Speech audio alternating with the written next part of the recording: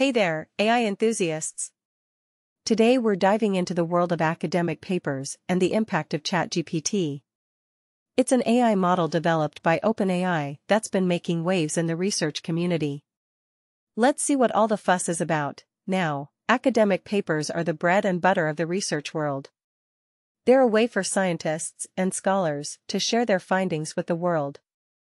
But recently, there's been a lot of talk about ChatGPT's role in generating sections like summaries and abstracts.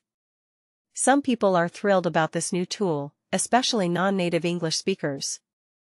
They see ChatGPT as a valuable resource that can help them improve their language use and communicate their research more effectively. And hey, that's a win for inclusivity and diversity in academia. But not everyone is jumping on the ChatGPT bandwagon. Critics are concerned about the quality of research that may result from using AI-generated content. They worry that it could lead to nonsensical or even plagiarized papers. And let's face it, nobody wants that. The integrity of academia is also a hot topic. Some users believe that relying too heavily on AI could undermine the principles of academic honesty and originality. After all, research is about pushing the boundaries of knowledge, not just regurgitating what an AI model spits out. And that's not all, folks. The role of AI in research is sparking a broader conversation about regulation.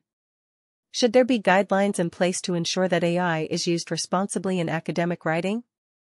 It's a tough question, but an important one to consider as AI continues to evolve.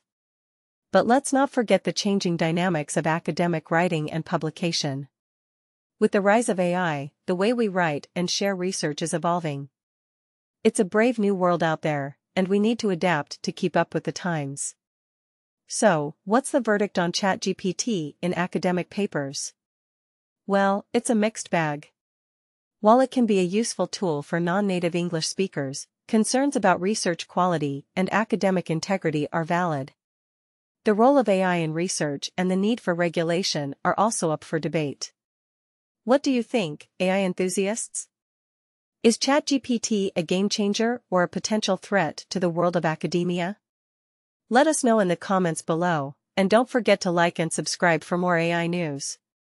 Until next time, keep exploring the exciting world of artificial intelligence.